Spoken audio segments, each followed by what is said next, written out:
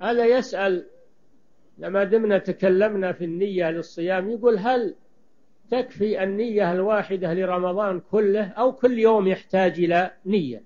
نقول لا كل يوم يحتاج إلى نية لأن كل يوم عبادة مستقلة فلا بد من النية لكل يوم قبل طلوع الفجر. وأنت إذا قمت للسحور إذا قمت للسحور فأنت نويت.